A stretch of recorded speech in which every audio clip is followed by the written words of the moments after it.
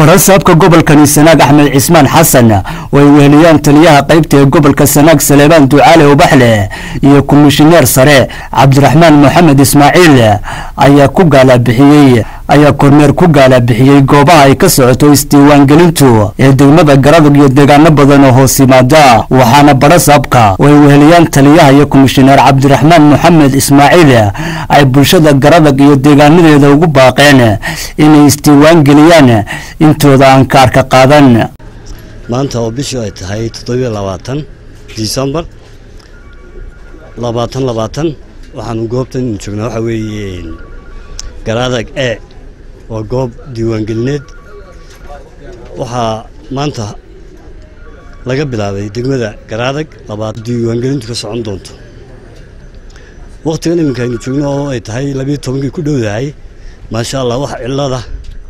Oo ay goobahaas u fadhiyaan ma jirto si fiican bay u socotaa diiwaangelintii.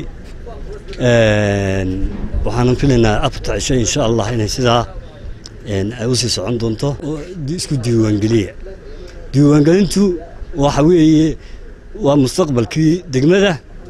Waxa weeye ciddii aad madhow u codayn lahayd. Goobtanaan joognahay waa goob ka mida goobihii degmada garaadag ee ay ka socotay isdiiwaangelintu saaka waxaanu ka soo bilownay ceel afweyn oo aanu dhowr meelood ka soo kormeeray iyo meelo kale oo deegaanka uun ka tirsan ceel afweyn garadag lafteeda qaybo ka mid aanu hadda soo marray.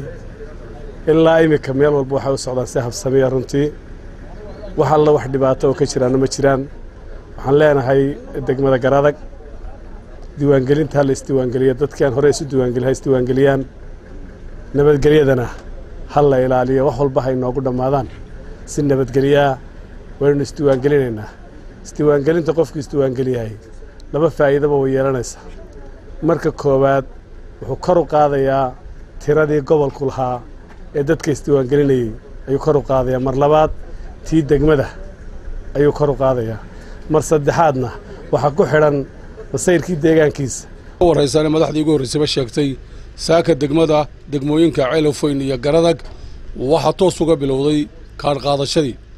Waxaanu leenahay bulshooyinka degmooyinka ku nool ceelofoyn iyo garadag waxaan idinka codsanaynaa inaad kaadh sina diiwaan gelisaan nabadgelyadana ilaalisaan shaqaalaha komishinka iyo ciidanka buluuska idiin adeegayana aad si wacan ula dhaqantaan oo ilaalisaan nabadgelyada doorkaa ku leedihiin